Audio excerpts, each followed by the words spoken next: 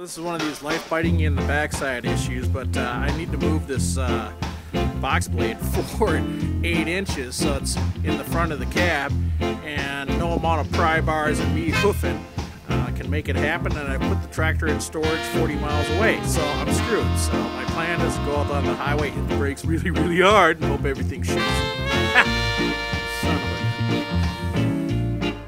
Well this is why I get the big bucks that plan worked took it up to 80 hit the brakes hard